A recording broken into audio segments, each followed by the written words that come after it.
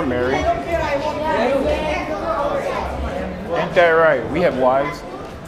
We have bills, responsibilities. Wives and husbands. Yay. Now we're over 18.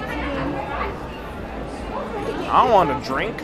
Oh, never mind, because there's a little kid right Yeah, there's a lot of kids in here. going, no, this is love and marriage. Exactly.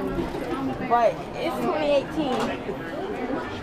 Imagine if you see um Auntie Barbara and Uncle Brad. yeah, that's what we're looking for, I guess. I don't know. Uh, nope, that's not him. Crazy. I thought they were coming. No, they're, they're, they want to be a part of the game show. Oh, but that's not happening.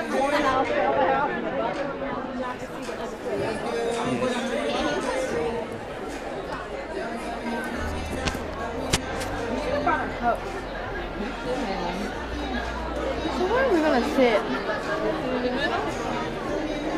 I guess. How are we gonna get?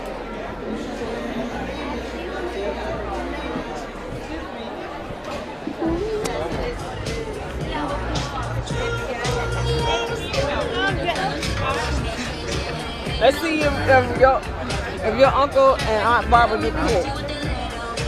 I'm going to laugh if they get picked. If they get picked. I'm going to laugh. Do we really need to do this? All right. Is it gonna be couple number one?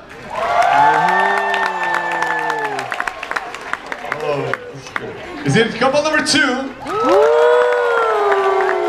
Yeah. Means that it should be couple number three.